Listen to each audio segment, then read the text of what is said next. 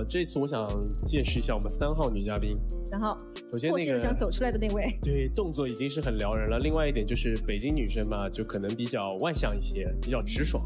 我想看看这样的女孩子。给韩国欧巴一个机会。呃，我觉得是第四号嘛，因为她年龄最大，肯定会累的，要早一点回家。好，来，各位男生，请投票。哦，三号，来自北京的人。这位来自于北京的姑娘名叫潇潇，二十三岁，是一名韩语教师。掌声有请潇潇。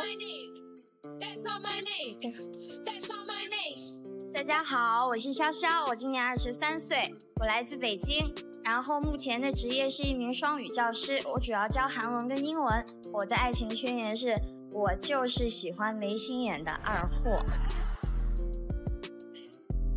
看你这说话娇滴滴的，估计自己也是个没心眼的二货吧？画了好多眼睛。嗯，这个是我平时最喜欢的五个表情。哦，是表情啊！你告诉我们这表情什么意思？呃，这个就是今天天气很好，我心情也很好。好，这个就是嘿嘿，我发现有好吃的了。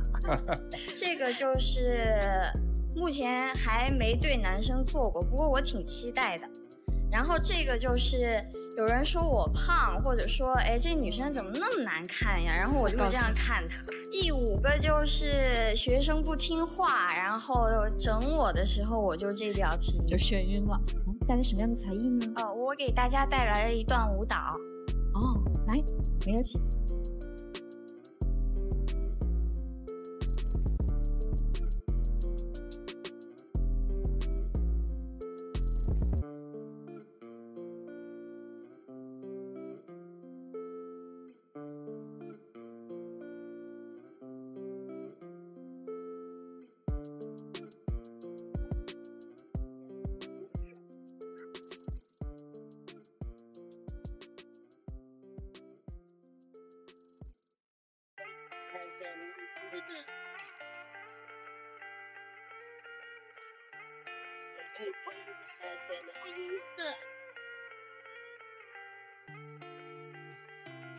掌声说明了你的表现非常的棒，而且票数也很高，八十票，恭喜你过关了。谢谢大家。下面呢，我们要进入喝彩有健康美丽三连拍，面对镜头，准备好，开始，一、二、三。你想对男生做的那个表情，怎么瞬间对所有观众做了呀？好，大家有请。我觉得你说话和你跳舞真的是两种完全不同的状态，不知道揭下面具又会给我们什么样的感受？会在这个时候接下来吗？呃，行，真好，真好。来，准备好，三、二、一，请揭幕。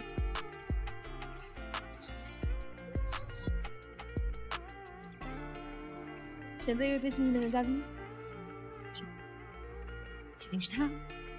好，呃，你也看到我们台上有一个红椅子，你会挑选哪个男生坐在这个红椅子上？我挑咱们大哥。大大大哥。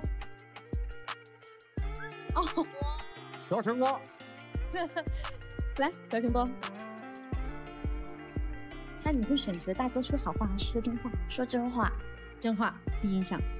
你皮肤也是很白白，然后刚才你跳舞的时候，我也是回去那个年龄的，因为我那时候我很想跳，我也很学过嘛，可是我没学好，到现在，可是你跳跳舞很棒。今天我们给朴正光一机会，我没看过你跳舞什么样。来，快跳！你愿意跟他去合作一下吗？我给您唱歌吧，你自己跳。哦，期待你的表现哦。 너무 반짝반짝 눈이 부셔 No no no no no 너무 깜짝 깜짝 놀란 나는 oh oh oh oh 来了来了来了来了， 怎么了，毕？你说大话也不怕闪着舌头？你说你还练过？你练过什么你？但是我跟你讲，朴春光下来对了。不管这姑娘给不给她机会，总归你是让电视机前的观众朋友对你有了进一步的了解。你看你说话的方式，这个女孩子皮肤白白，然后跳舞的时候又扭扭，大家都认识到了韩国的欧巴是很可爱的。谢谢。好，下一位。呃，那个潇潇身上应该有很多点，但她其实身上有一个点，我觉得特别有趣，她的眉毛。她的眉毛能够自然形成囧那个表情，就是能够这个对，然后眼睛特别大，就是她只要表情一多，就真的很像她刚刚那个画板上的那个那种动漫的表情，所以很厉害，对，很动感的一个女生。谢谢。女嘉宾你好，您好，啊，刚才你题板上画那个几个表情，我最感兴趣的是中间那个，看我像吗？嗯，就是，嗯，可爱不足，然后声音过大。可爱不足，我丑现在使劲儿吗？啊、好，我我看到你跳舞的舞姿非常的帅气，然后你皮肤又这么好，又这么性感，长得那么漂亮，我想起来一部电影叫《全民情敌》，用在你身上非常合适。啊白雪公主你好，哦，您好，我就是你一直在等的那个人，是吗？真的。为什么这么说呢？因为你不是在找找，哎呀别再这样的，不再这样的，我走了。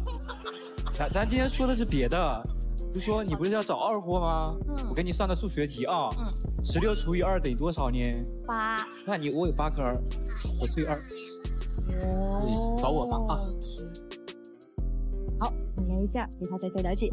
我是潇潇，我今年二十三岁，我的故乡在北京，现在我的职业是一名教师，我所教授的科目是韩文跟英文。嗯，如果你看我的外表，会觉得我是一个特别内向、特别腼腆的女生，那你可就错了。我是一个典型的外表娇小，但是内心非常强大的人。呃，由于家庭的关系，我很小的时候就自己独立生活了。呃，半年前我自己去了韩国，然后就一直在那里生活着。嗯，我觉得我是一个对自己的未来计划特别有想法的人。呃，在结婚之前，我想，嗯，能走多远就走多远，然后去尝试许多自己从没做过的事情，然后尽可能的不要给自己留下任何遗憾。但是结了婚之后呢，我想退居二线，就是事业先放在第二位，然后把我的家人放在第一位。来，我们翻开两张扑克牌，了解一些具体资讯。潇潇毕业于韩国岭南大学教育专业，现在当韩语和英语的老师。他认为呢自己是一个兼职女王，多才多艺，呃，收集打折券儿啊，还有这个减肥的一本血泪史。呃，兼职女王，你干很多职业吗？对，就是贴过传单、发过小广告、刷盘子，然后家教，然后翻译，然后化妆化妆品的促销等等一系列。就是你现在一边当老师，一边还要兼的职。哦，以前大学的时候有做，哦，等于说在韩国勤工俭学了，算是嗯，算是。哦。嘉宾，我想我很关心你这段减肥血泪史哦，你能不能做个介绍啊？就是那，请问一下，您现在的腰多大呀？二尺一，二尺一是吗？嗯我当时的腰围是二尺七到二尺八，那你有多少斤啊？你别开玩笑了，你你你腰围都赶上我了，你是吗？你你现在完全看不出来啊！你什么时候什么时候你有二十七、二十八的时候？就嗯，快上大学的时候，那是个小胖子，特别胖，一百四。嗯，你一百四啊，一百四是我差不多啊，跟您差不多，怎么可能呢？这是真的。你让你告诉他们是怎么？对你还是告诉一下我们是怎么减的吧。我我我其实挺残忍的，哦怎么残忍法？就不吃主食，然后晚上不吃晚餐。所以说女生挺辛苦的。让朴正光做，你做得到吗？不吃主食，不吃晚饭，你行吗？绝不可能的，我不会绝对了。其实我觉得减肥的方法很多，关键是你要靠一种意念去支撑它。我感兴趣的倒是是什么样的事情刺激你，突然要减肥，还对自己那么残忍？那个就是血泪史加特别狗血的剧情。狗血？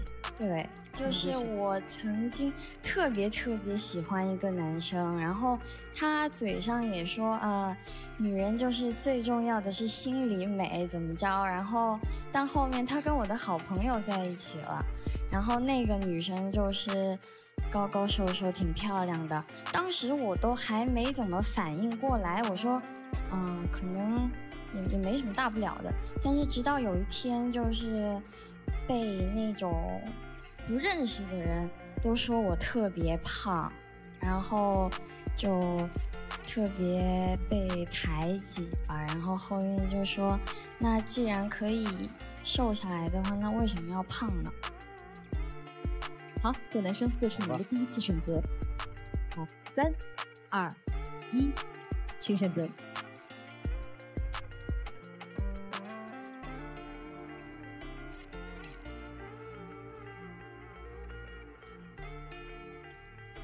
好，我们继续翻开剩下的两张扑克牌，再做了解。潇潇谈过三次恋爱，但是因为文化差异而分手。呃，他希望找一个他妈妈喜欢的，能陪我打电动的，哈哈，打游戏的这个男生当男朋友。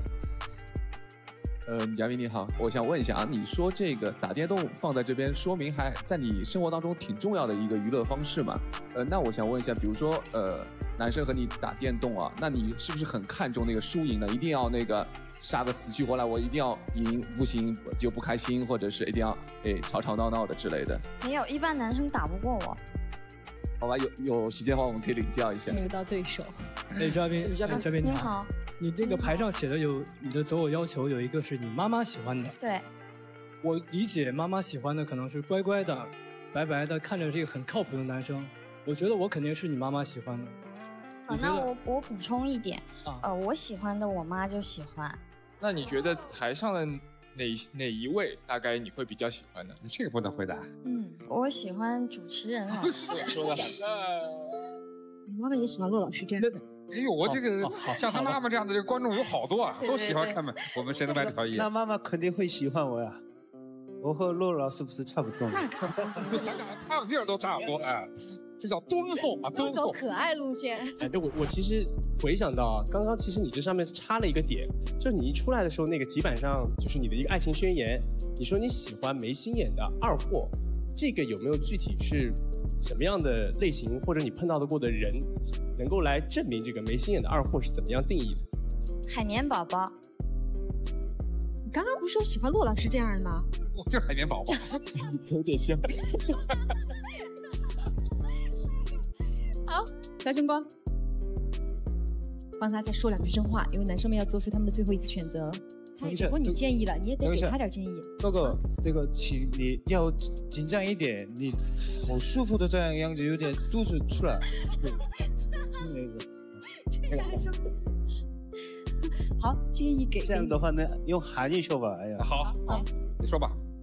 정말대단한것같아요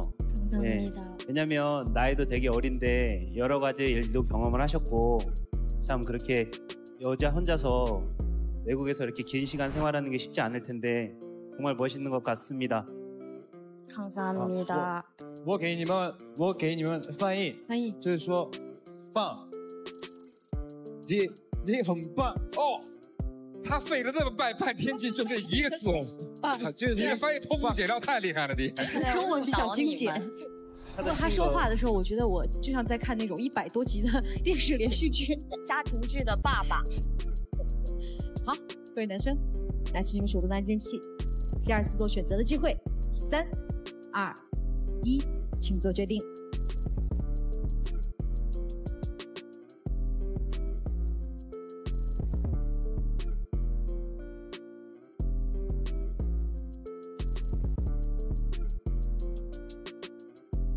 很好，有七位男生选择为您守候。你可以提出七个要求。那我先说第一个吧，就是如果您跟我结了婚之后，不能赞成你的父母、我的父母还有我们俩住在一起的，请关牌。哦，你想全住在一起？对，大三居。这很少有女生起飞这个。有人翻过去了。这个我确实得我得给你提提。这个今天的人更多强调一点生活的独立性。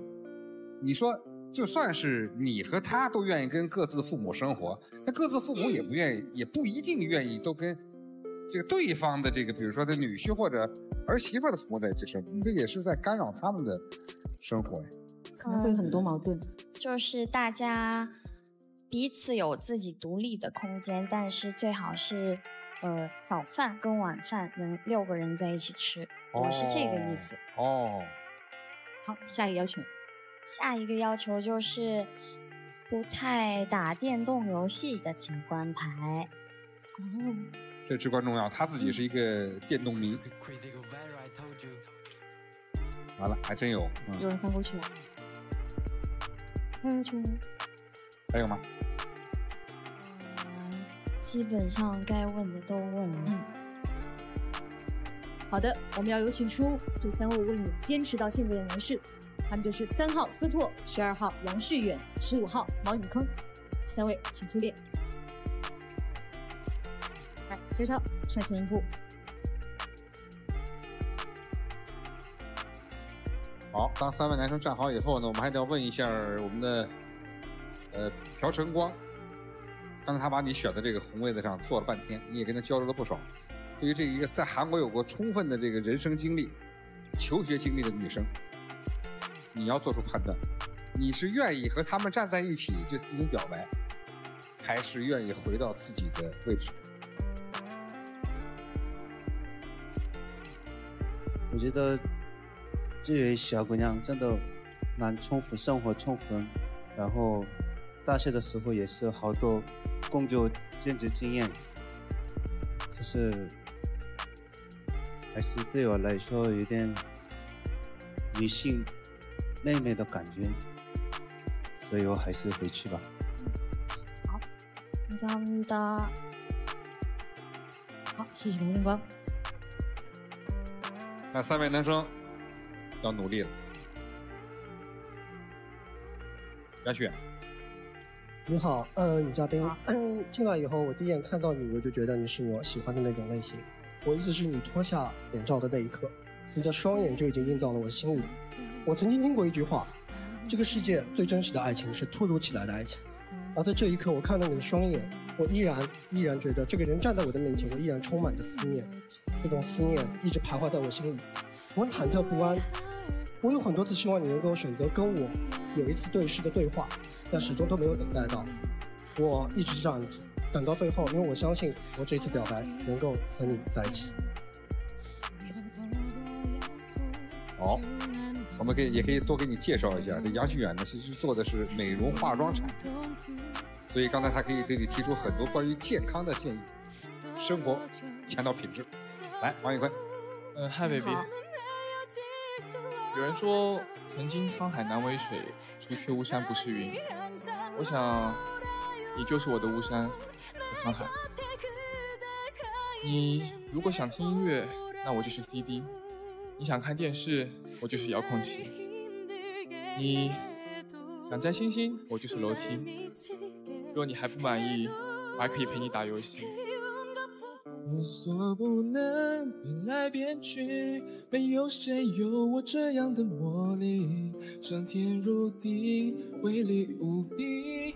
但是你要相信我的超级潜力，无所不能，变来变去，这样的帅哥真是不容易。犹犹豫豫，别瞪眼睛，男子汉是放下架子，让我明天追到你。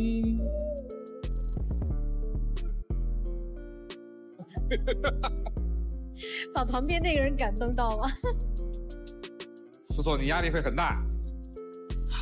好，您好，香香你好，我是一个特别积极向上、开朗的人，我能带给你快乐，也能带给身边的人快乐。嗯，我对你非常欣赏，尤其是你一个人在国外生活了那么多年，而且兼职那么多份工作，我觉得你非常的独立。我也有相似的经历，我曾经在啊、美国的奥兰多迪士尼乐园也打过工，而且是很苦的那种，炸薯条、做汉堡、服务每一位客人。有一天工作最累的时候，要站十个小时，我当时真的想放弃，但是克服之后呢，我又觉得收获非常大。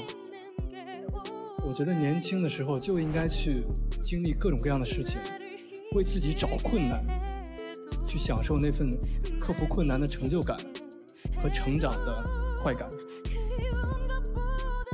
我在台上也很长时间了，一直没有女生来跟我表过白。我也问过很多人，到底是什么原因？难道是真的有点就是我我人不行吗？其实不是，有人说你是被评为最受妈妈欢迎的男嘉宾，妈妈想签我没办法，女儿又不来签我。我觉得你妈妈一定会非常喜欢我。你提出了希望结婚后两家人在一块儿生活，呃，我也是第一次听说有姑娘希望这样。不管能不能实现，我觉得这是一个非常好的愿景。这这可以体现你非常重视家庭，你是一个尊敬长辈、孝顺长辈的人，这也是我择偶非常重要的一个标准。我们之间有太多的契合点，我觉得我们在一起完美。完美的一对。你在韩国那么长时间，嗯，那我想用有一个韩国的韩剧叫《咖啡王子一号店》，你看过？我用里边一段话跟你表白。 자지야 한마디만 한마디만. 하겠습니다. 하겠습니다. 당치야 당신은 남자든 남자든 외계인이든 외계인이든 상관 없습니다. 상관 없습니다. 우리 함께 할수 있다며 우 리 함께 할 수 있다면 계속 我刚才以为毛颖春的这一番表白已经可以打动我了，思错的这个半生不熟的说的像阿拉伯语一样的韩文，真的能够这打动我。哎呀，低声跟低声高。好，潇潇，三个男生， 他们都是很诚恳的对你进行了表白，在三个人当中，你要选出一个人。但是我不愿意以最坏的方式去思考这文晓，我特别怕他把三个人都给拒了。因为我觉得三个人当中确实有挺适合他的，哎，而且各自都表达了自己的那番真诚。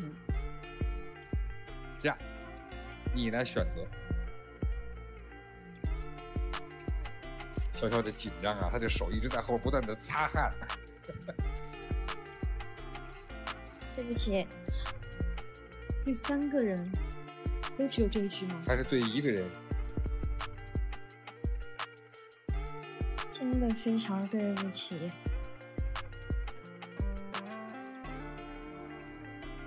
三个人你都拒绝了，不做任何的考虑。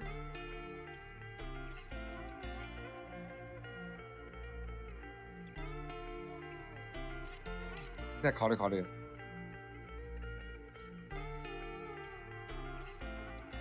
哦，不后悔，对不起。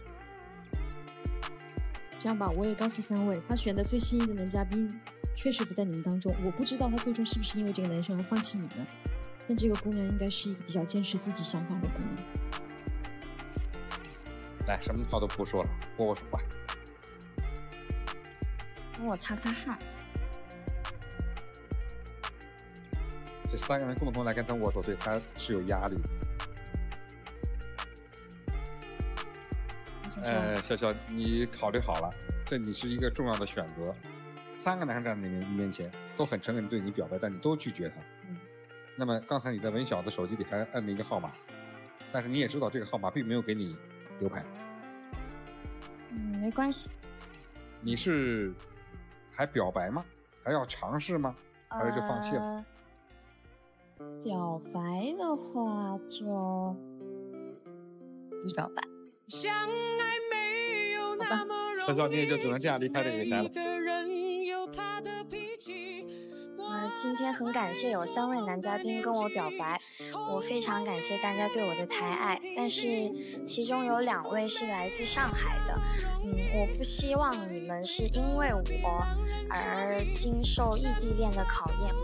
然后对于那位北京的男生，其实我觉得我也非常非常的对不起，因为您各方面都非常的优秀，但是主要原因是在于我。真正的爱情可能需要更多时间的考验，然后我希望时间可以给我们大家一个非常好的答案。文小骗是不是应该公布那个答案？是，他选的这位就是八号，刘敏。各位男嘉宾又要再次面临喝洒有健康美丽之选，剩下的几个剪影当中，你们最希望谁优先出场呢？没有，我觉得五号那个手势是在勾引人吗？过来过来，我就让他出来。嗯，好的，各位男士，请投票。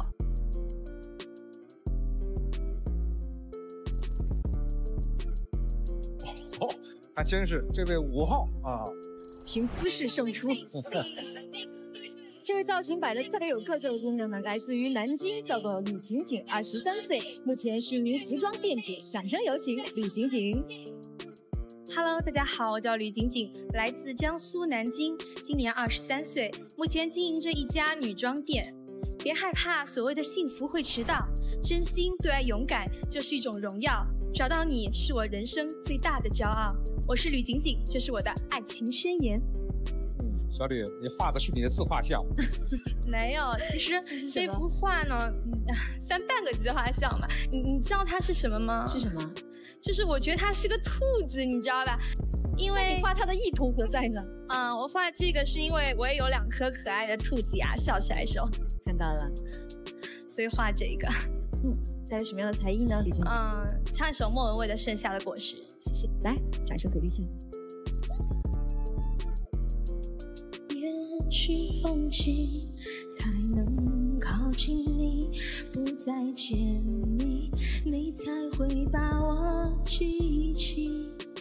时间累积这剩下的果实，回忆里寂寞的香气。我要试着离开你，不要再想你。虽然这并不是我的你，不要可以说你还爱我。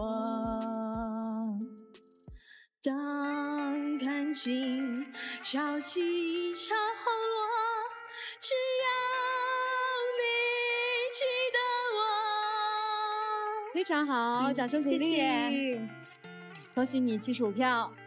好，下面呢，我们要进入喝洒有健康美丽三连拍。面对镜头，准备好，开始，一、二、三。好，大家有请。相信李晴晴的这幅自画像呢，会让很多人对她的长相充满了奇思妙想。你敢不敢在第一时间揭下面具？嗯，我 OK 的。非常好。真好。我们看看你画的像不像啊？好，记住啊，姑娘，当文晓说三二一以后啊，我们希望在你的脸上呈现出你刚才那副自画像的表情，好吧？OK。啊，好好。三、二、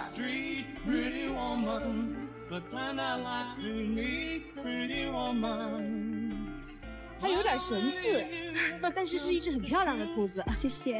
来，选备最新一个男嘉宾，是他。哦，那好，呃，哪位男生有幸会被你请到这个红椅子上坐着？嗯，七号吧。七号，嗯，张代为。张大为呢，初次坐上这个凳子，听到你选择他，还有点不可置信。那你要选择他说真话呢，还是说好话呢？嗯，我选说真话，因为我喜欢听真话。好，那就看你的了。第一印象，真话啊，我尽量说说说。我看起来你从来没都没说过这真话。我觉得如果我在起飞前见到你这样的女生，我肯定就飞不了了，肯定直接高血压了，怎么飞啊？那还是公共安全比较重要。哦，女嘉宾的外貌条件毋庸置疑，我觉得所有男嘉宾应该都被你深深的吸引到了。谢谢。嗯，嘉宾你好，我是做老师的，所以会对呃口音这种东西特别关注。对你从南京来的，怎么一点都听不出南京的口音？因为我南京我也去过几次，那边的人说话都非常的硬，你感觉非常。如果一个南京的女生在南京本地谈恋爱是特别吃亏的。为什么？因为南京话比较直嘛，就类似于白话，然后你会觉得这个女生不温柔。比如说，一般的女生会会撒娇的时候嘛，就说，嗯，亲爱的，你在干嘛呀？如果换到我们南京女生就是，哎，你在干嘛啥？然后比如说，呃，有些女生那那个男生那个就是可能惹她不高兴了或者怎么样，她说，哎呀，你讨厌。南京女生就说，哎呦，范闲。就是你知道这个语气，我我要用这个来跟你们说，肯定没人把我牵走了。你得慎重替南京女孩代言啊！啊，对，所以我单身一大片，到时候都赖你啊！对，所以我就借这个告诉大家，其实南京女孩很温柔，只不过我们说话呢有一点点的直，对吧？谢谢。李嘉宾，我看到你的第一眼，我以为范冰冰来串场了。你有着一双范冰冰的眼睛，而且你的身材真的是，我可以说我从来没有见过一个女孩可以拥有这样魔鬼的身材和天使的笑容，同样拥有一个儿童的声音。我觉得你真的非常完美。就是就是那个这这个话有点让我受宠若惊哈，我试图去相信，但是我觉得你说假话的时候特别真。哦，真的吗？谢谢。谢谢谢。说实话，你一出场呢，会让大家想到很多让人愉悦的画面，阳光、沙滩、比基尼等等。不知道你符不符合我们的想象？来，一刀一下，走进你的生活。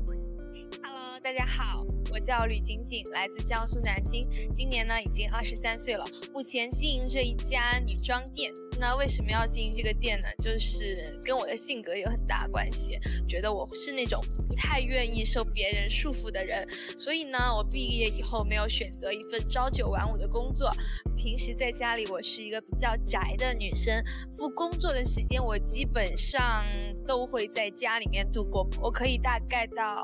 一个礼拜不出门，嗯，基本上在家里面吃冰箱的速冻食品和叫外卖。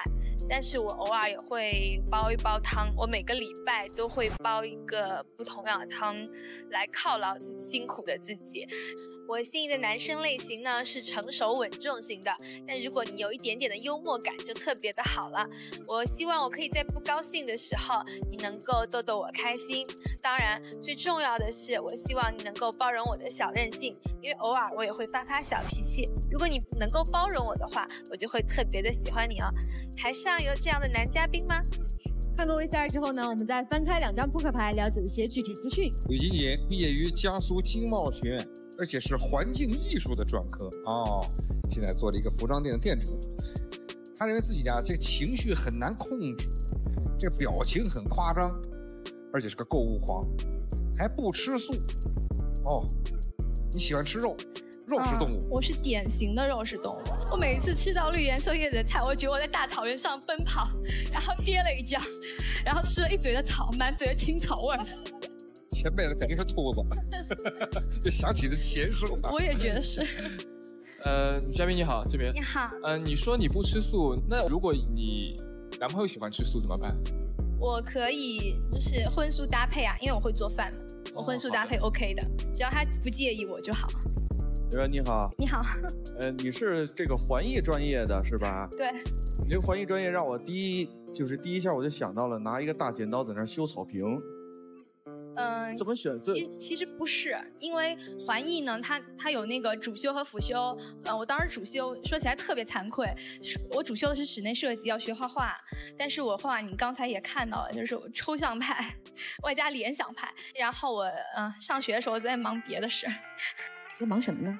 嗯，其实我上学的时候就接触服装这一类了，当时是和朋友在一起做一个店，后来呢，就是觉得自己可以独立就 OK，后来自己开了一个店。因为我上大学的时候课程不是那么紧，而且就工作了对对 可是你说你这个呃表情很夸张，情绪难控制，我我觉得你你挺正常的呀。因因为那个我特别搞怪，然后就会呃学小动物啊什么的。你看说学就学。比如说我可以学一个小松鼠，但是你们千万不要记着心里数一二三，我变给你们看。好，一、二、三。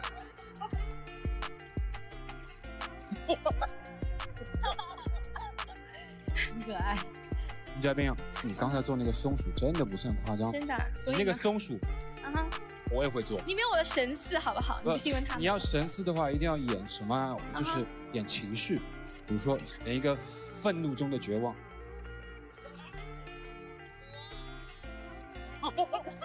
有没有？我真的很难控制自己。这出题者都好的愤怒中的绝望。来，再来一个，再来一个，呃，失恋中的喜悦。这人有病，失恋了他还喜悦。你这样失着失着恋，突然看到陆老师了。喜悦了，有没有？失恋中的喜悦。好了，看来这个女孩子跟大家的沟通是非常非常顺畅的。各位，拿起你们手中的监器，第一次选歌准备好，三、二、一，请选择。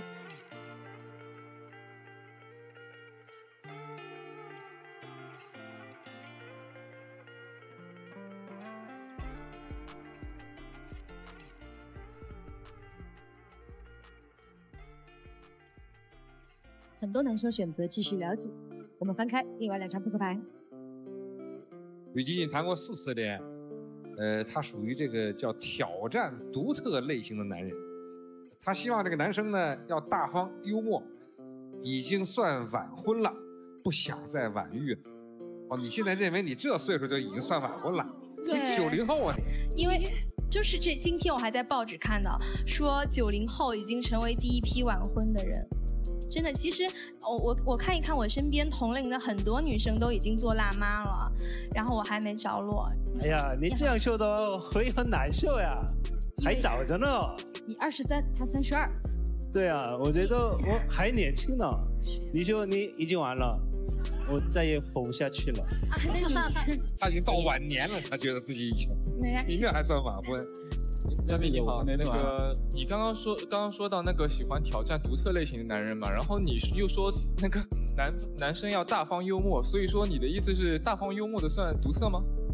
哦，不是我我嗯、恋爱四次的经历，就是第四次是重点是挑战了一个独特类型的。这个男孩，我认识他的时候，我身边所有人都跟我说，你不要跟他在一起，你你你你搞不定他，你你收不住他的心。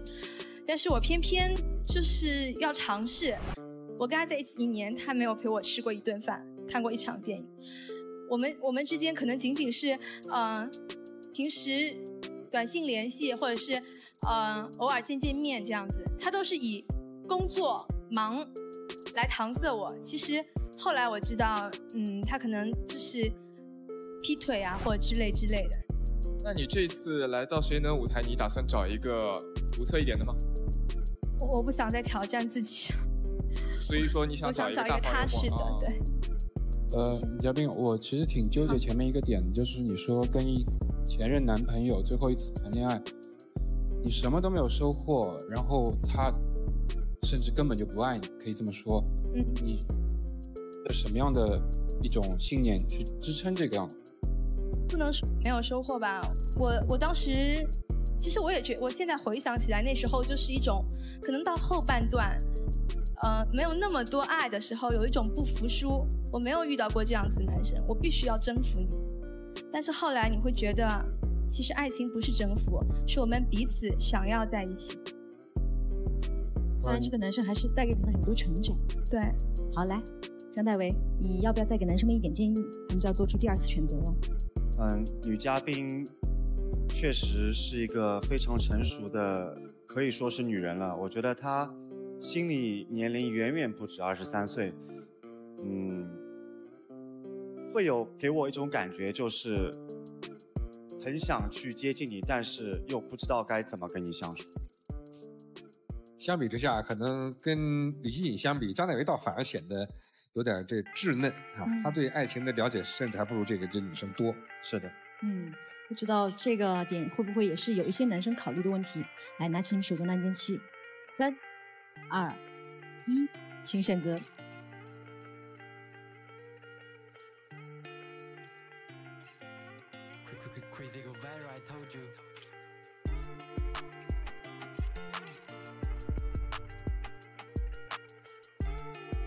嗯，你非常有魅力。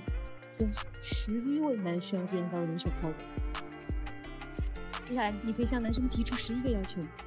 嗯，第一个，如果你睡觉打呼噜的男生，请翻牌。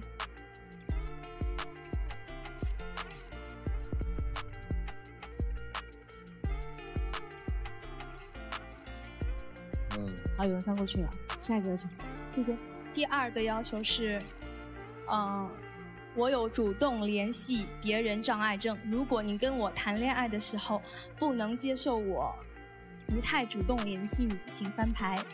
我们可以理解不太主动联系别人，但是到了障碍症这个地步，就是其实我不我不知道为什么，因为我可能不太会主动联系别人，但是不代表我心里面没有你们。这个呢你这个问题还挺有杀伤力的，翻过去不少牌。下个要求，嗯，第三个要求是，不能容许我为了朋友而忽视男朋友的，请翻牌。嗯，有闺中密友。但仍然有男生翻过去了。嗯，这跟前面那个问题是有一定的这联系。是对。嗯，其他我放弃，我只有这三个。那现在还留牌几个男生，稍作思考，做出你的最后一次选择。来，呃，我不好意思，我打断一下，我能不能有一个小小的请求，就是我能希望，嗯，剩下的十一号杨亚楠和十五号毛颖坤能不能够放弃这个机会，把牌翻过去。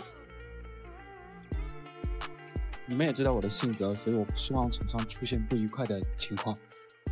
我真的就是明着的恐吓威胁，阻止你们。我没训练你们成功吗？这个不是你问我，我就不下去的。那我祝你成功。哦，毛颖坤接受了这个建议。杨亚楠，其实吧，呃，我觉得你挺好，而且我很喜欢你。谢谢。但是呢，我觉得我这个人很大度，所以呢，我决定留给曹老师。好，那杨亚楠都跟毛颖坤同意了曹俊的请求，那么现在只有曹俊。李晶晶也上前一步。当然，曹俊也有可能忽略了另外一个潜在的对手，张代维。张代维，好，首先要问一下张代维了。我不知道他为什么要把你选择坐在这个椅子上，但是你替他说了很多好话，你说了很多真话。现在你要来判断，你是愿意站在这个舞台和曹俊一决雌雄，嗯，还是现在就回到你自己的位置？你什么都不用说，用行动来表示。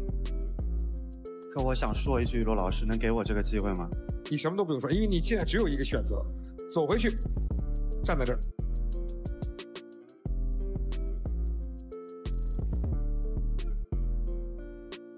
我选择放弃，但是我不是因为胆怯。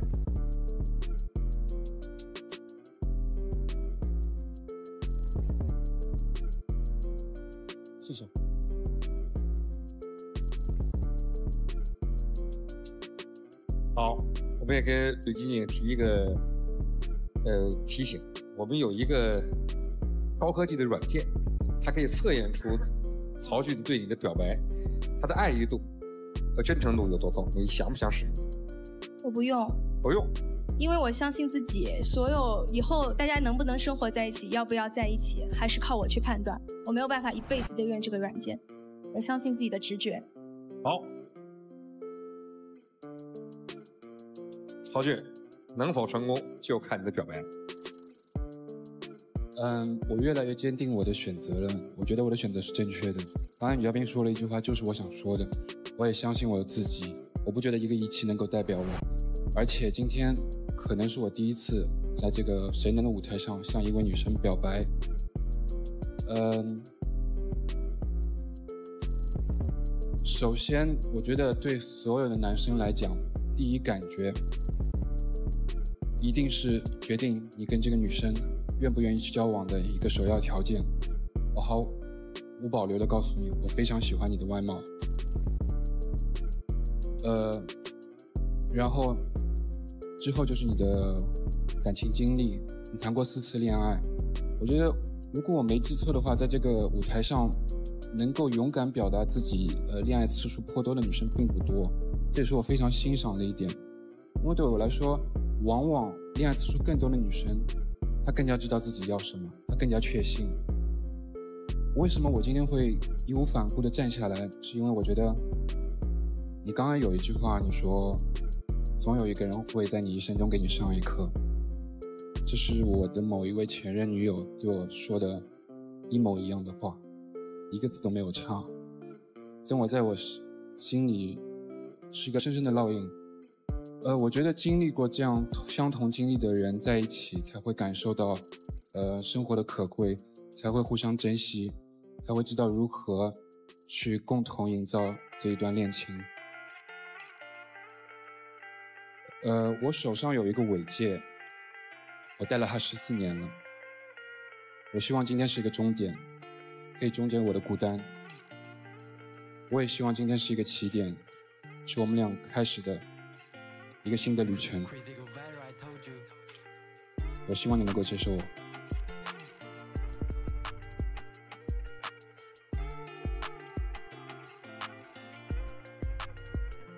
首先，谢谢男嘉宾。我知道你是很多女孩子的白马王子，同样我不否认你的外表很帅气，的确可以吸引到我。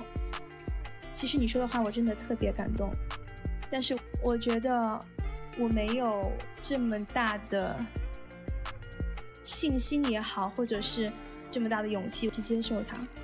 因因为其实我我我觉得我们的背景相差特别大，你是呃留过学啊或者也好，你现在是教法文也好，我也知道你其实思想还比较嗯西化或者是怎么样，很多东西你你不够了解我。我想说一句话，你知道吗？你上来以后，我就没有看你四块牌子，那些硬性的条件啊，那些写出来的东西，我根本就没有看，从头到尾我都在用心去听你的对话。我想去感受你的经历。我觉得，当两个人真的相爱的时候，那四张牌都代表了过去，而我们两个重新开始之后，我和你又是一个新的开始，我们两个才会去写一个新的篇章。我希望你，如果真的要拒绝我，给我一个明确的理由。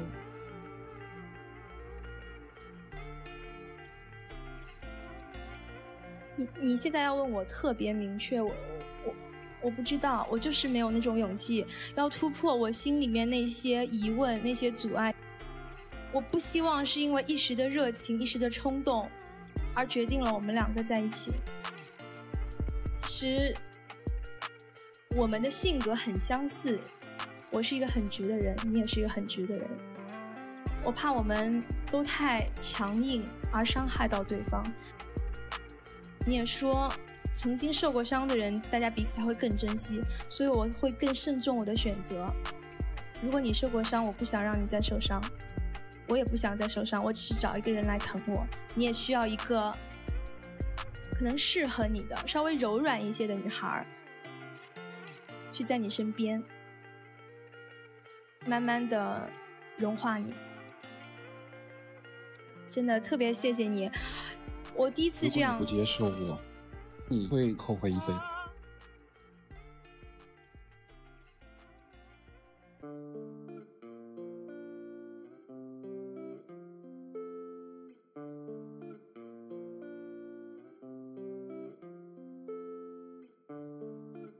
我希望你可以为我撑起一片天，我希望我可以像小鸟一样依偎在你身边。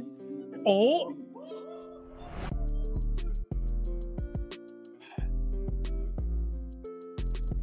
真的特别谢谢你，我第一次这样就是，你会后悔一辈子。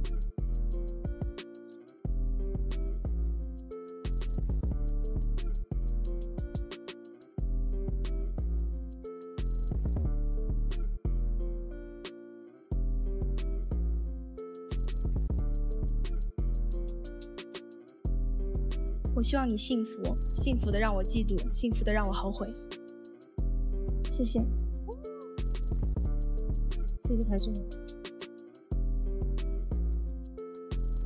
我可以跟你拥抱一下吗？我我不要，因为我怕他不高兴，我怕我心动的男生会在意。在场的十五位，有哪位会介意自己的女朋友跟别的男生拥抱一下的？有现在就说出来，介意的请举手只要有一个，这 不止一个，这个握手道别吧。好，感谢曹俊。曹俊今天是霸气开场，漏气收场。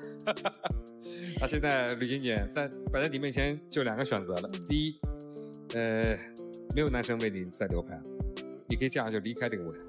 第二，你在文晓的手机上曾经摁下过一个号码，你也知道他没有给你留这样的机会，是，你想怎么办？想不想试一试？我要向他表白，嗯，这样吧，你那么在乎他，你自己请出他来吧。这个人是启航。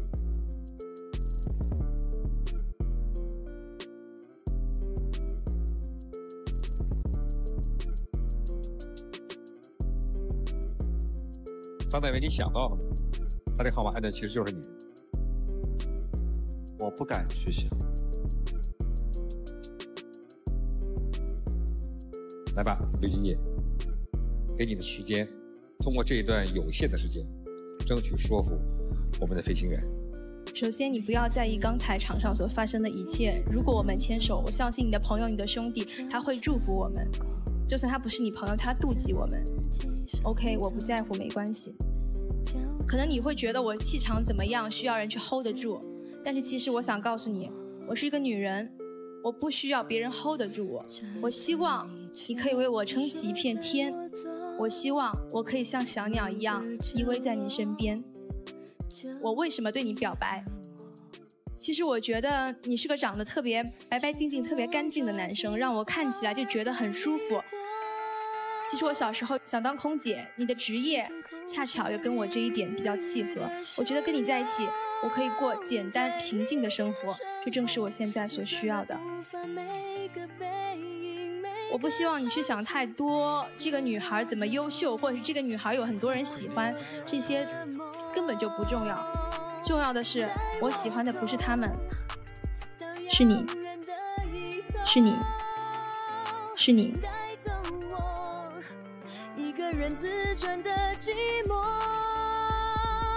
带我走，就算我的爱你的自由都我很喜欢你成为泡沫。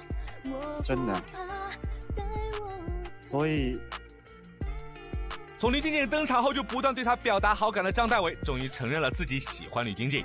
这对互相吸引的男女能成功牵手吗？他们又将受到怎样的阻挠呢？姚斌你好，你一上场的时候，我这个心啊有扑通扑通扑通的响，你可以来摸一摸，到时候。好，我会来摸的哦。两位男嘉宾能够坐一下我的篮筐吗？这是故意要陷害曹俊一下。啊，我决定选择一个。哦，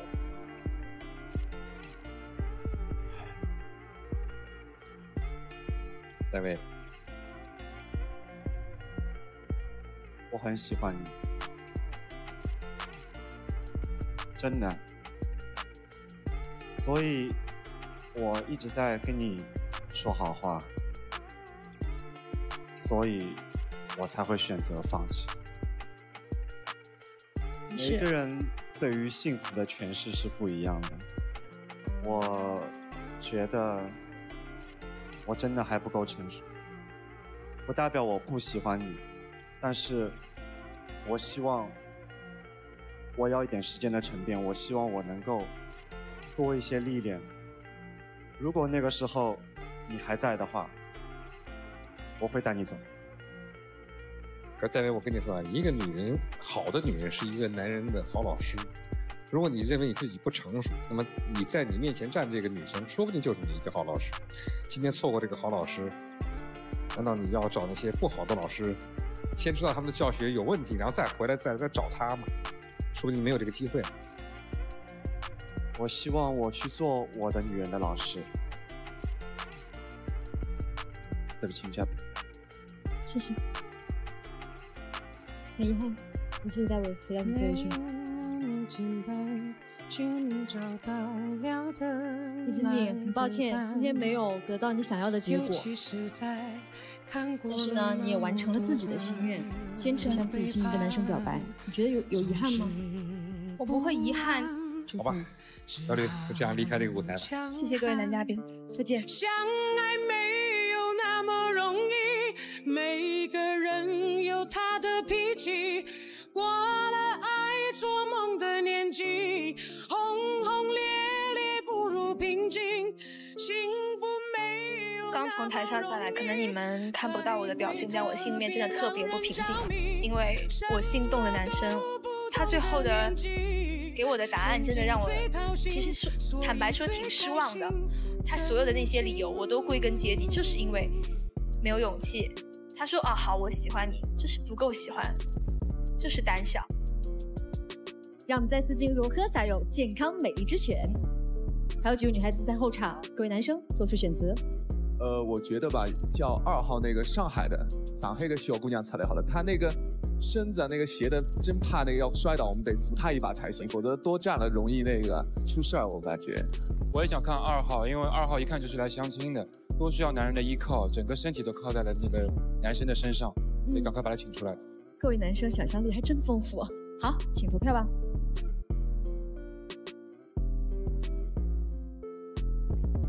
好，二号得票最多。我们要有请出来自于上海的沈露，二十四岁，是您公司协调员。掌声有请沈露。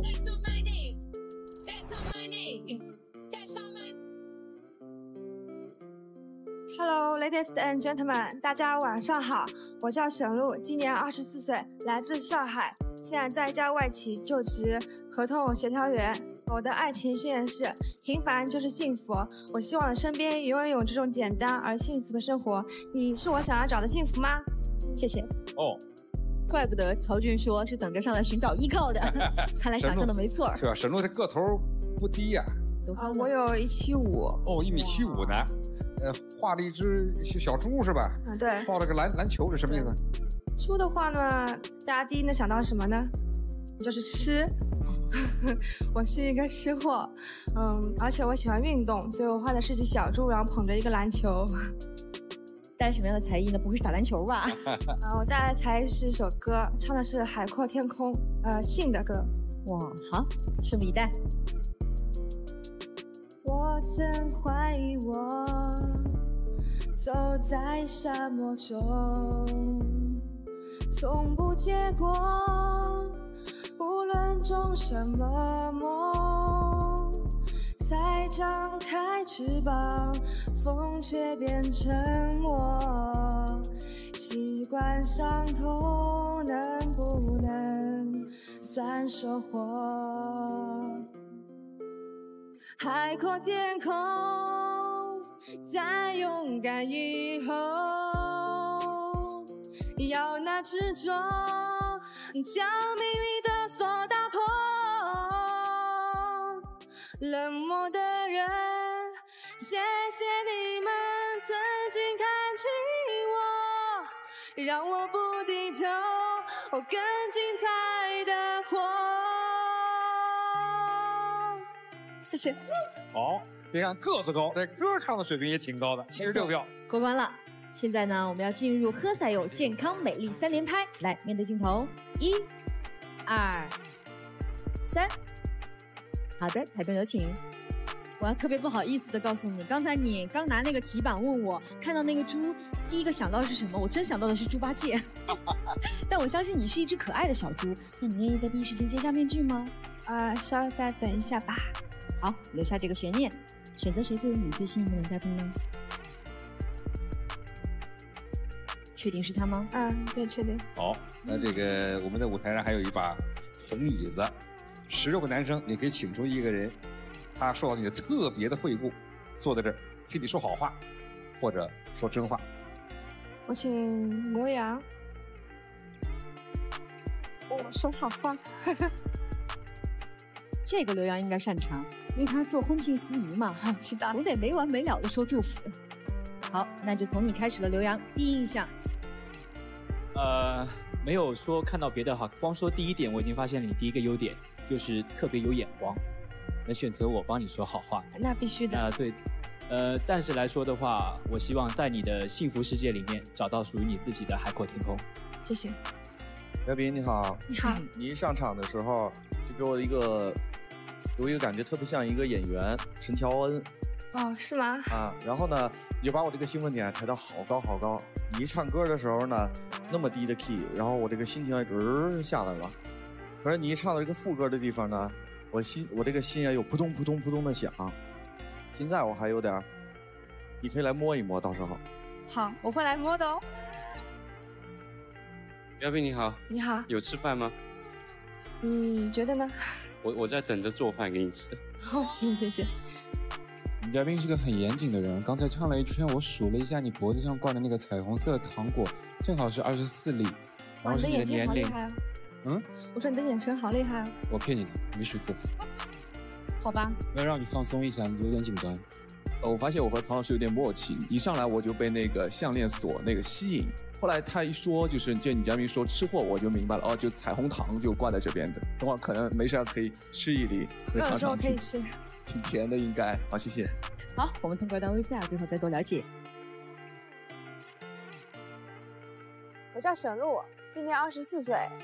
从小呢，我就是练体育的，练的项目呢是田径，所以现在周末呢，我都会去跑跑步，锻炼锻炼身体，然后约上几个一起打篮球的朋友打打篮球。所以运动是我生活中很重要的一部分。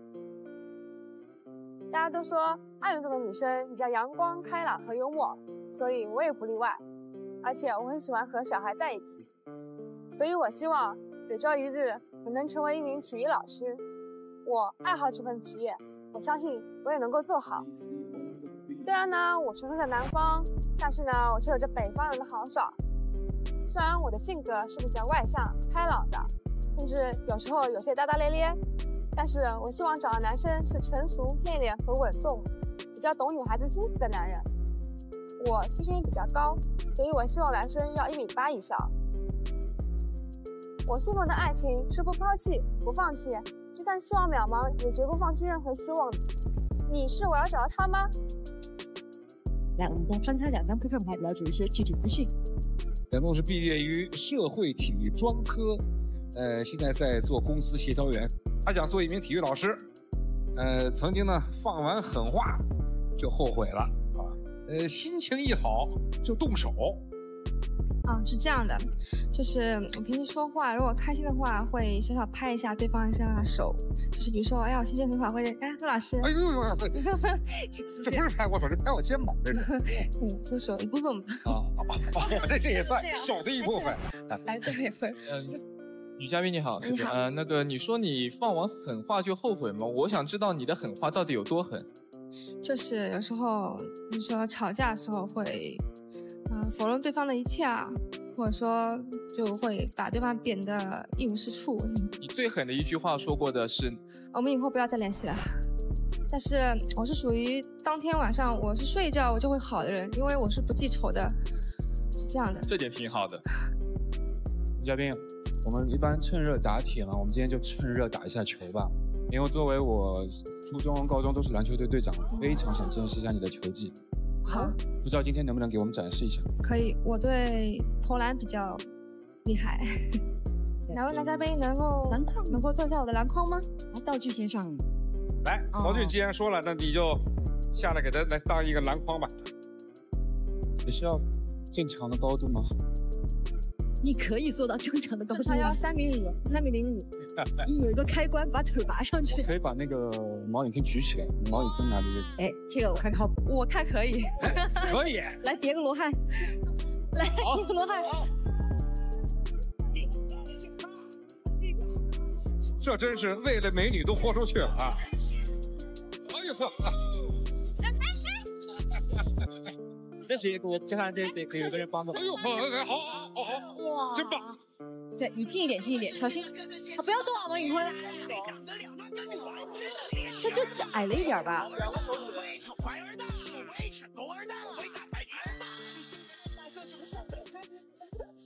哎呦，好，呃，现在离得离得稍微近一点，稍微远一点，咱们罚三分球，好吧？哎呦，好，呃，先罚个三分球，再扣个篮，好吧？来，三分球，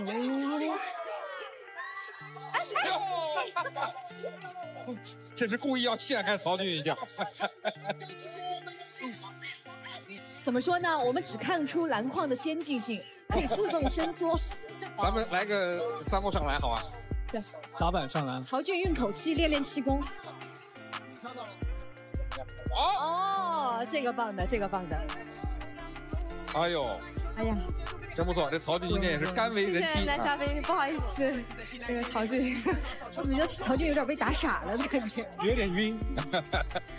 要不这样吧，我们约个时间一起打个球。我可以。哎，这喜爱篮球的人，这个爱人还真有不少。好，来，各位男生做出你们第一第一次选择，准备好，三、二、一，请选择。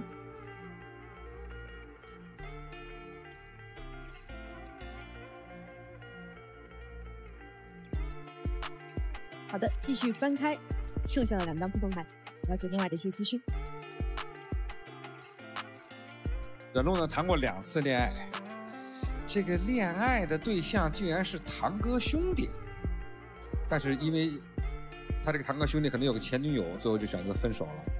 他希望找这个男生呢要一米八以上，生活要两点一线的男生，呃，特别强调不能有干妹妹。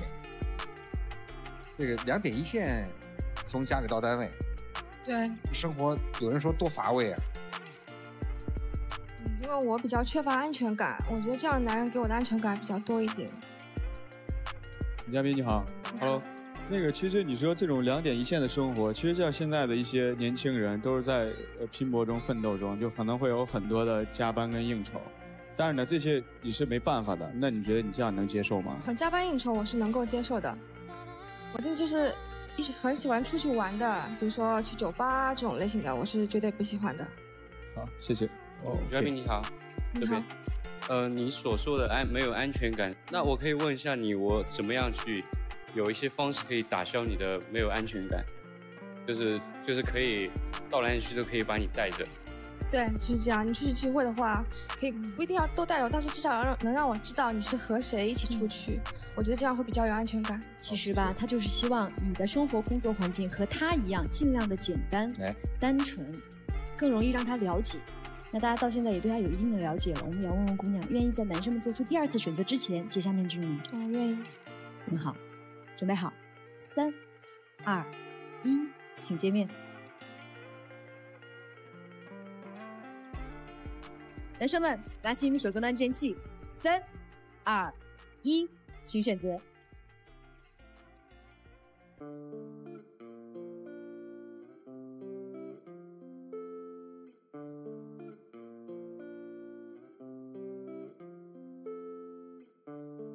很好，还有六张牌为你守候着。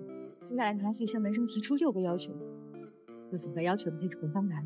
第一个要求，啊，第一个是吃饭喜欢点很多菜，然后吃完了会浪费，不肯打包的情况。嗯，这不是个好习惯，现在都强调叫光盘行动啊，把盘子得吃光。要老实交代啊，各位男生。嗯还好，为你留牌的男士呢都比较崇尚节俭，没有这样的状况。下个要求是什么？下一个是月光族的情关牌。哦，有有还真有。嗯，啊，张影杰你是月光族啊？都花在什么地方了？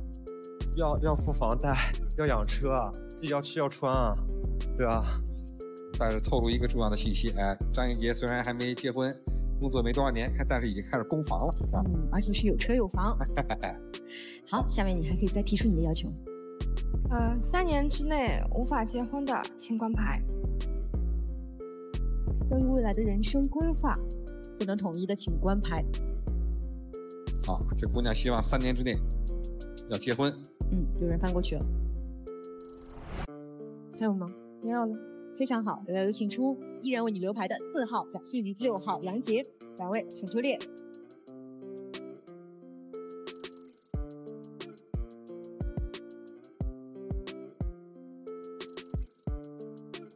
好，在两个男生表白之前呢，我倒想问一下咱们的刘洋，你刚才跟他沟通这么多时间，他也把你请到这个红椅子上，你现在是决定向他表白呢，还是你自己主动回到你自己的这个位置上？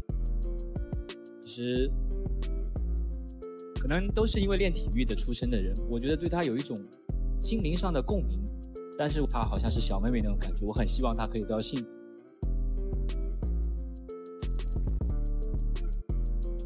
行了，现在就要看这两位男生你们的表白能否收获今天一个满意的结果。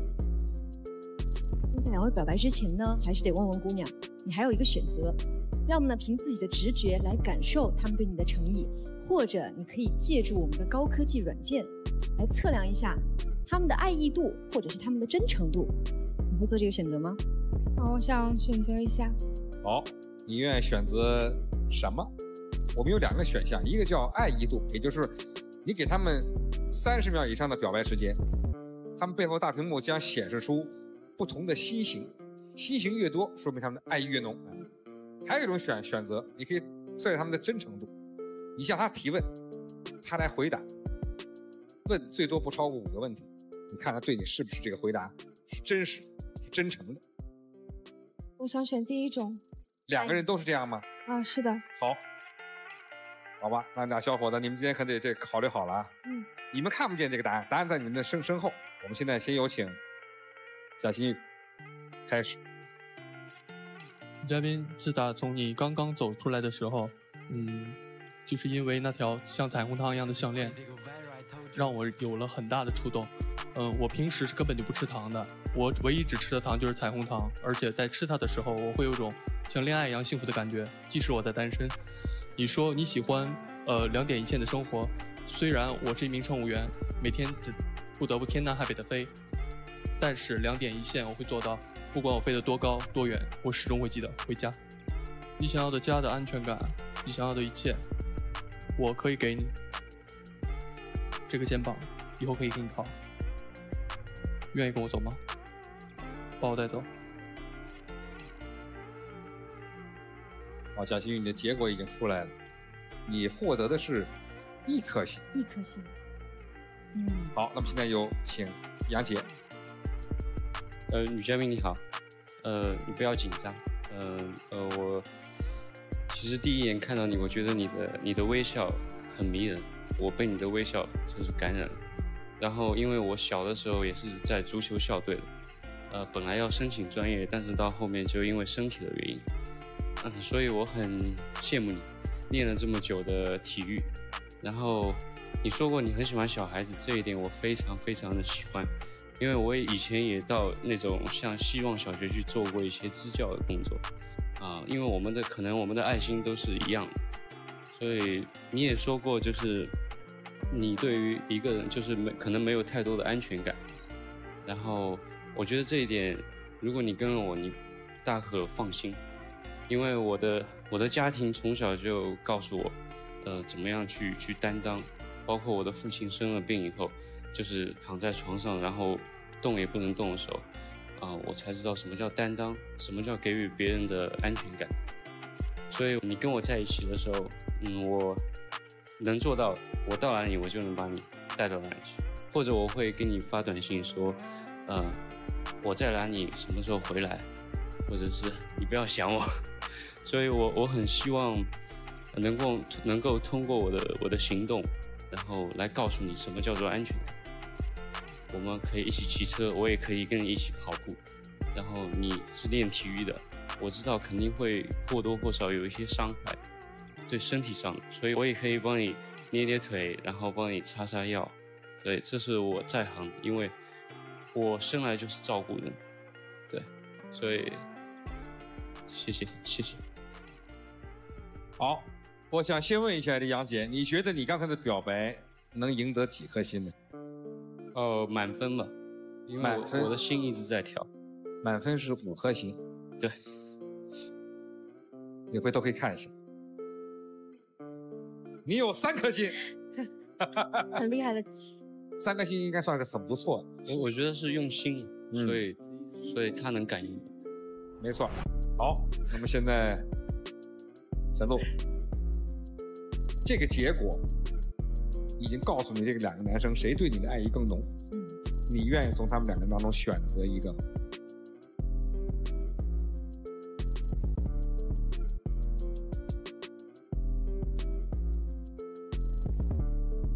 啊，我决定选择一个。哦，哇！我特别得告诉你们二二位啊，这个。这姑娘一开始在文晓手机上她选择了一个号码，但是遗憾的告诉你们二位，其实并不是你们两人当中的任何人。但是她现在改主意了，她准备在你们两人当中选择一个，做出决定吧，山诺。女嘉宾究竟会选择谁牵手离开我们的舞台呢？结局会如您所料吗？答案马上揭晓。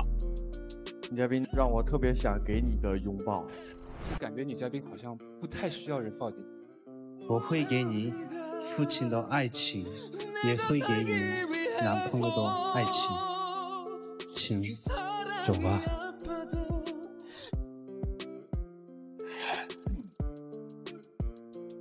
他准备在你们两个当中选择一个，做出决定吧，山路。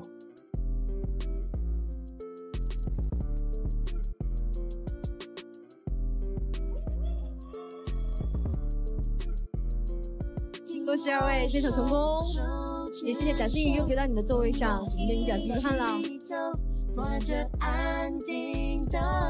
好，也恭喜你们，你们将获得由天王蜂蜜柚子茶所提供的健康美丽韩国游，以及浙江省丽水市所提供的价值五千元的休闲浪漫之旅大礼包，多好啊！一个人跑着步，一个人骑着自行车，这也够累的。这个是呀，来，两个人牵手甜蜜离开我们的舞台喽，再见。把你一生交给我，昨天不要飞走，明天要找。哦，我原来选的是张一杰，但通过了解，我觉得杨杰可能比较更适合我，经历也好，就是各方面我觉得比较适合我吧。对我也是非常荣幸，感觉到很高兴，嗯、能碰到这么一个笑起来这么可爱的女孩子，嗯、我也很希望跟他一起好好的，然后以后有机会带他经常去旅游或者到马来西亚去玩。好，您现在正在收看的是由天王蜂蜜柚子茶独家冠名播出的《谁能白得一》。本节目由你本来就很美自然堂雪润皙白联合赞助播出。我们需要再一次的 Versailles 健康美丽之选，哪个剪影更加打动你们？各位，请投票。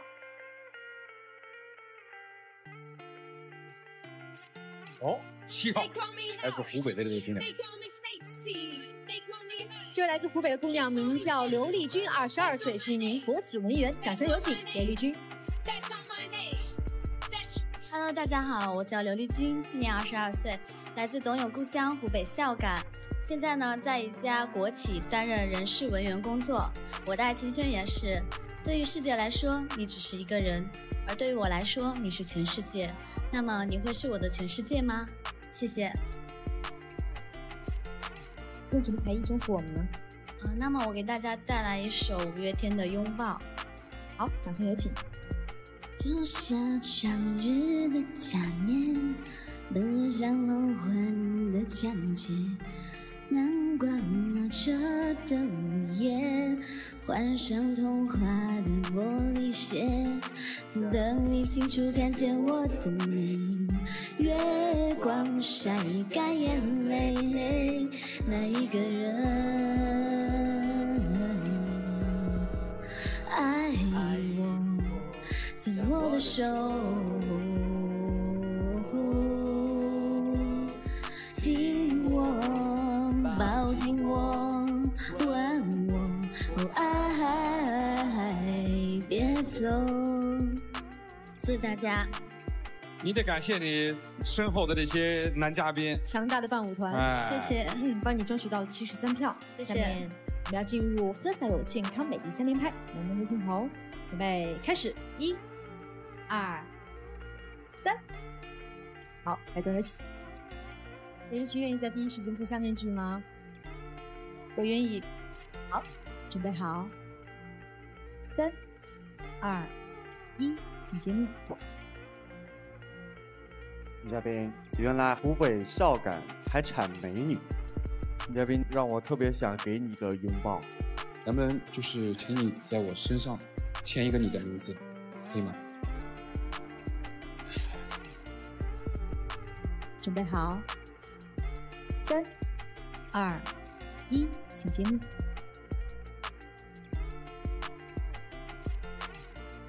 选择一位你最幸运的男嘉宾，是他。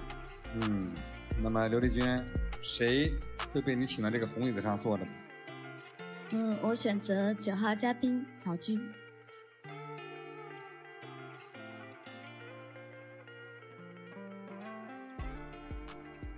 很多人都说曹骏有的时候也是嘴下不留情的，那你会选择他说好话，还是说真话呢？我选择真话。好，第一印象。呃，选择在第一时间揭下面具，这就是一个非常勇敢的行为，呃，非常自信。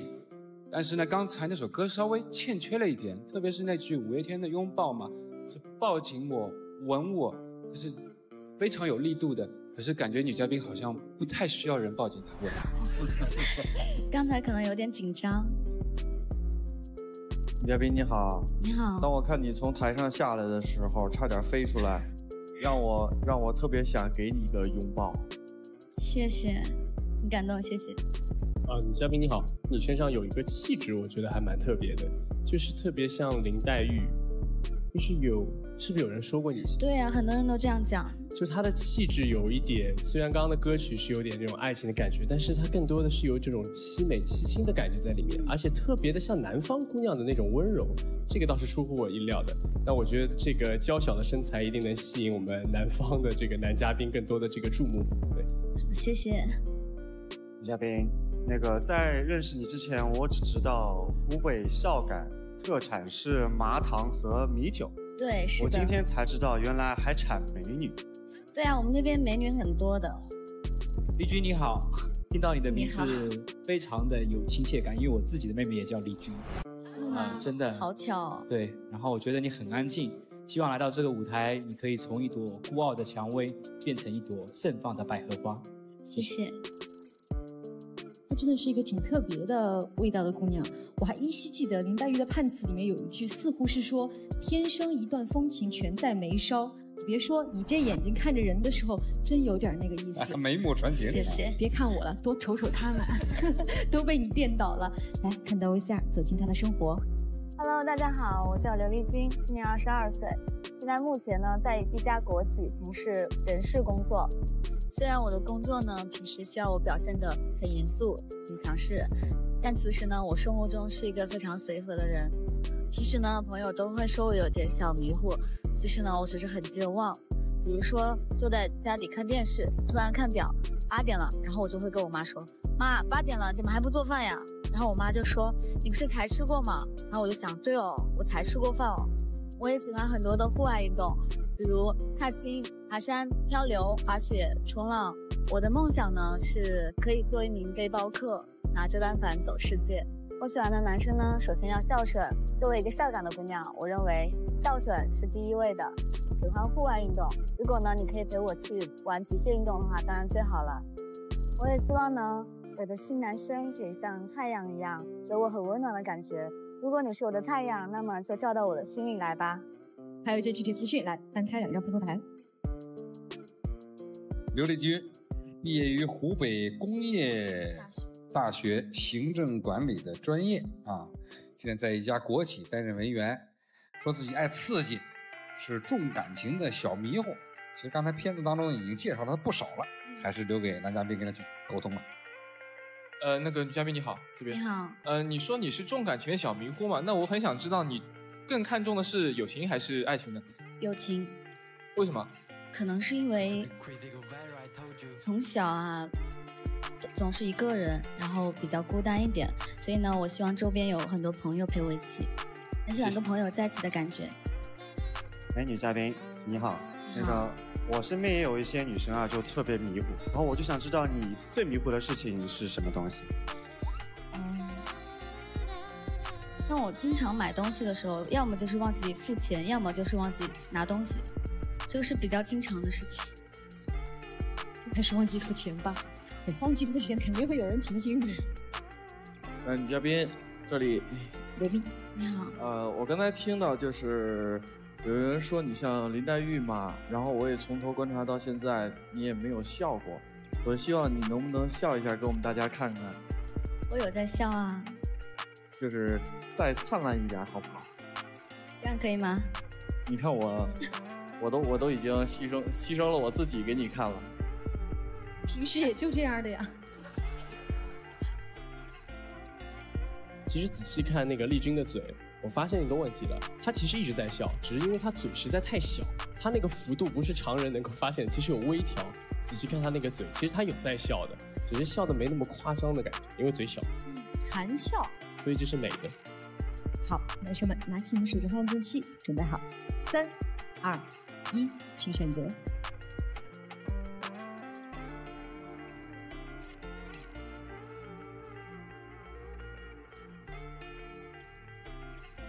好的，还有很多男生选择继续了解你，还有一些情况，翻开两张扑克牌，我们就知道了。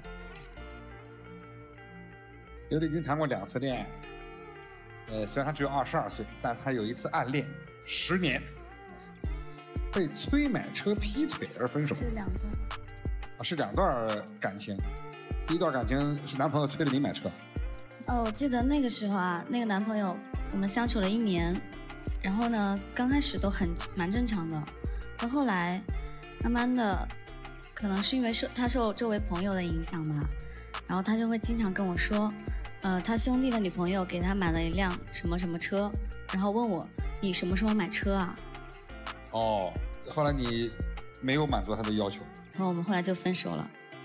是有点不不太像话啊。他希望呢能够找到一个能够给予自己父亲般温暖的男生，这是刘丽君的希望找到这个份爱情。呃女嘉宾你好，这边。你好。你说你竟然暗恋过十年那么长时间，你是怎么做到的？嗯，是这样子的，我暗恋十年那个男生，他是我的小学同学。那个时候并不懂感情，但是我不知道为什么，我第一眼看到那个男生的时候，我就喜欢他。他不高也不帅，但是就是不知道为什么，然后就小学毕业之后我们就失散了，一直到去年年初的时候，小学同学聚会，我们又重逢了。然后后来我们就，是我对他先表示好感的，相当于是我倒追他吧。后来我们就在一起了，但是我们在一起三个月以后就分手了，为什么？劈腿？因为被他劈腿啊。哦，就是这个男生，暗恋了十年，你们没有联系，小学毕业以后，一直到后来十年以后才见的面。对对，这十年你没见他，你一直在暗恋他。一直没见过，但是他在我心里一直有分量。我到现在我还记得我第一次见他的样子，我记得非常清楚，他的眼神、他的表情，还有他的形象，我记得很清楚。可是十年人会发生翻天覆地的变化，那个时候的他还跟之前那个他是同一个人吗？能划等号吗？其实那个时候我也并不了解他，我跟他小学时候并没有过多的交流，我们可能连话都没说上，就是喜欢自己的那个。哦呦，但这姑娘是一个痴情度很高的人，诸位，你们可得这注意啊，这个这样的女生可轻易不能伤害。我我来问个问题吧，呃，就是女嘉宾喜欢自己父亲般的温柔，你你可能觉得父亲对你好，那当然了，在这个世界上没有一个人比得过自己的父亲对女儿好的，所以我想能不能有一点具体的东西，父亲怎么对你好了，你这样自己也清楚了，以后你找男朋友你也清楚你要什么。对，我觉得男嘉宾说的很对，但是有一点可能男嘉宾并不了解，因为我从小就缺乏父爱，我并没有过多的感受到为什么父亲的对我的关爱，为什么？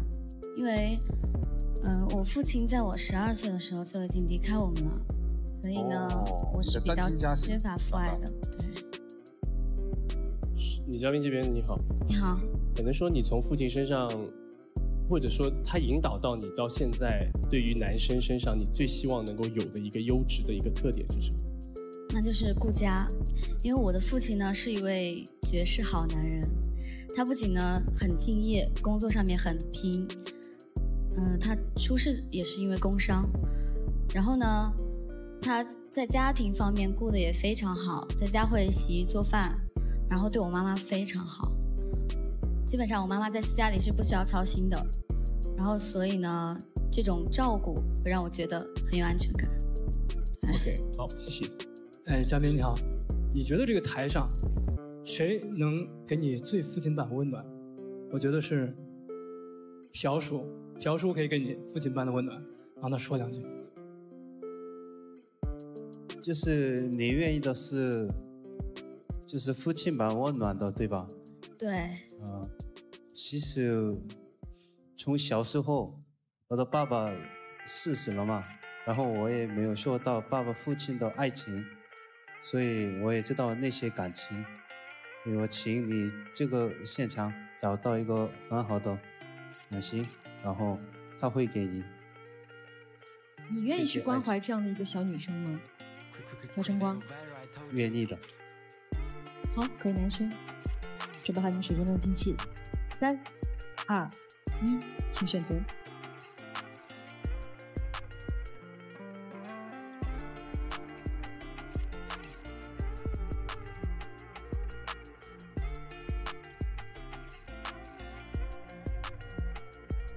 好的，有八位男生为你守候。下面提醒我们提出八个要求。第一要求是什么？嗯，首先第一个，曾经跟女友发生争吵，并且把女友丢在路边的人，请翻牌。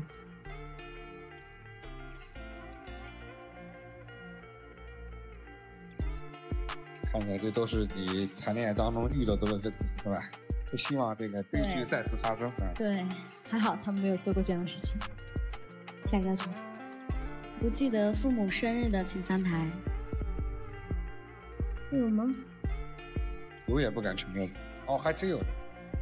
这个是有特殊原因，啊，因为姜方舟从小我我了解就没有父母。我了解。下一个要求，曾经因为被感动而跟女友在一起的，是谈恋爱哦，在一起的，请翻牌。你被感动？对。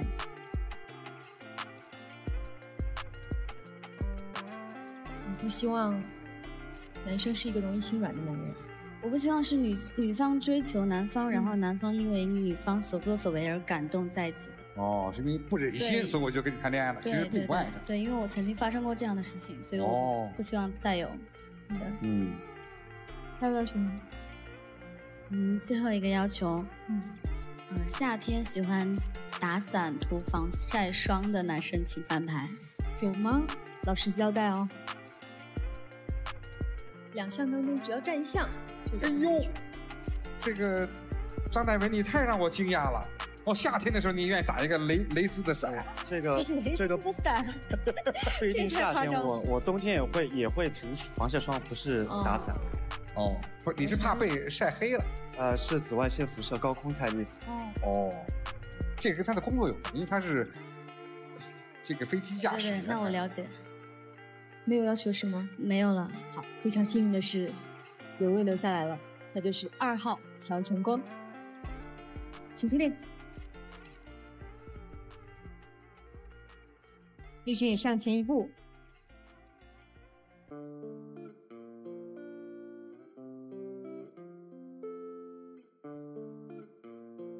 当然，在朴正光表白之前呢，也要问一下曹骏，呃，不知道是因为什么原因他把你选择到这儿，你也不知道，呃，现在你是愿意站在朴晨光的旁边向他表白，还是索性回到自己的位置？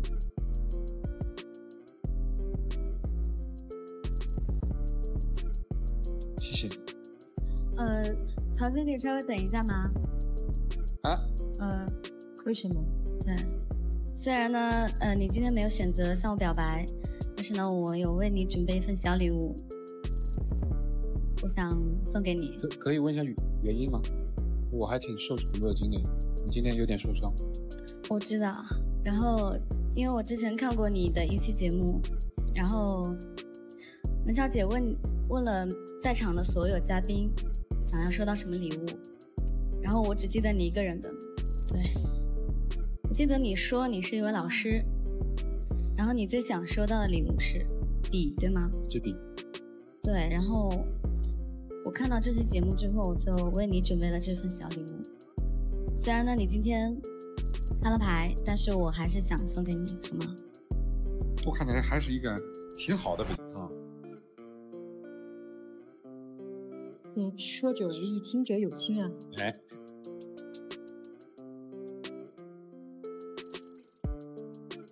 再次谢谢一下女嘉宾，然后希望你待会成功。谢谢你接受我的礼物，谢谢。我一定会一直带着。谢谢。好，谢谢财俊，说到你最后一下。呃，我想问一下刘丽君啊，我们有一个高科技的软件，你想不想今天测验一下朴正光对你的爱意度和真诚度？可以，你要测验他哪一个？测爱意吧。测爱意，好。那么朴正光，给你一分钟时间进行表白。如果你的表白确实爱意很浓，你背后的心形标志会显得很多。好，现在有请朴成光。首先，我来介绍一下，我叫朴成光，来自韩国轮创，现在在上海贸易公司里上班。其实年龄是数字而已，身高也是数字而已，体重也是数字而已。其实我觉得这些都不是很重要。我最要求的我的对象就是孝顺一点的。可是你曾经从十二岁的时候，你的父亲离开了。可是你现在这个样子，这个真不容易的。因为我身边也有，我也是一样。我们类似的就是，我也是从小的时候，我的爸爸离开我，那时候我不听母亲的。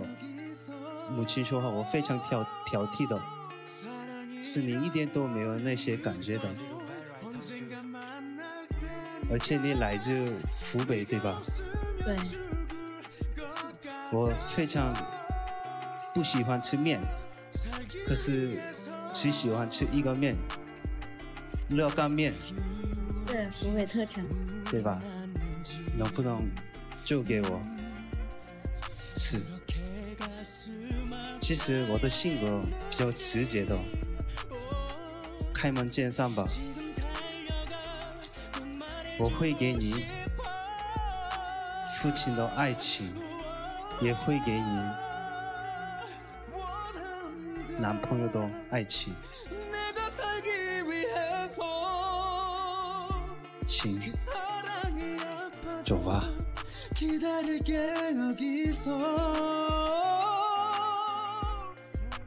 面对台上最有资格能带给自己父亲般温暖的朴成光的深情表白，刘军会被他打动吗？光很短，马上回来。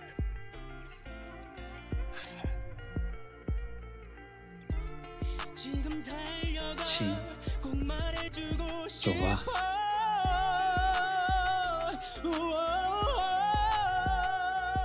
呃，朴正光，我要告诉你，你这个表达呢？可能是由于这个汉语确实没有这么流利啊，但是呢，这个软件的测验方式跟你的用什么语言没没关系，它是跟你的语气语调来判定你的对这个姑娘的爱爱意度。很遗憾，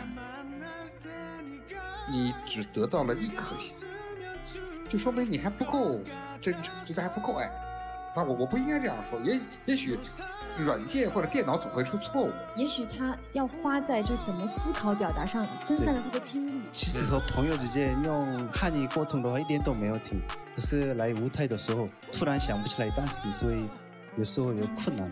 嗯，像这样就会有迟疑。所以这个确实是给你减分的。嗯。不过最终做做决定还是这位姑娘，所以她的意见比机器更重要。哎，李军。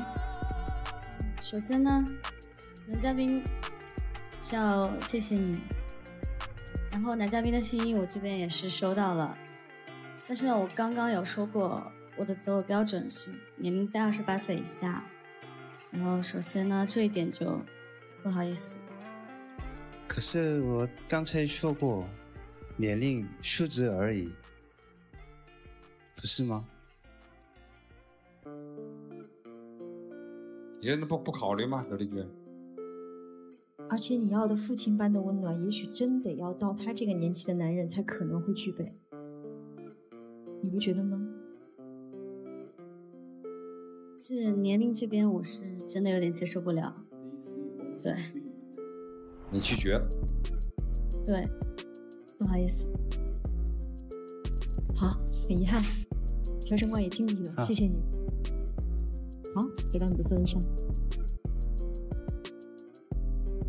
刘丽君，我想我们后面的话其实不用说了，你已经知道答案了，因为在此之前，小刘在文晓的手机上按出一个号码，但是这个人其实已经表达了他的意见。需要我公布吗？需要公布吗？不需要了，不需要公布需要。公布不。需要了。对，你也不想再来对他呃，因说点什么？为我已经知道他的心意了。好，对，那好，我们也尊重你。嗯，那就只好这样离开这个舞台。不好意思啊，再打断一会儿，我真的觉得，呃，刚才我也其实犹豫了一段时间，因为我觉得女孩子特别的脆弱，我不想这样赶快就走。其实呢，我是觉得可能在条件上确实有一些些不符合，对不起，有一些不符合，所以我想稍微有，但是实在是你也知道我是一个，呃，有什么就说什么的人，所以我最后还是决定离开这个舞台。但是呢，你这个礼物我刚才又看了一遍，我真的懵了，就是非常好的一个礼物，所以我最后有个请求吧，能不能就是请你用一下这支笔在我身上签一个你的名字，可以吗？没有，我我不想这样。我觉得不如你把我的名字记在心里。其实你刚刚有说，多善良的姑娘！但是我们也看出来，曹军也很善良，你也很确实敏感，你体察到了他在这个手机上按的是哪个号码。是，对，其实，呃，我知道曹军是一个非常直接的人，而且其实我刚刚已经想好了，你一定会离开。然后呢，其实你并不需要犹豫，我不是一个很脆弱的姑娘。对，其实我很坚强并且独立，相信。所以呢，你可以放心的离开。好，那请你现在就可以离开这个舞台。祝福你，再见，梁军。好的。做梦的年纪，轰轰烈烈，希望你也可以幸福。幸福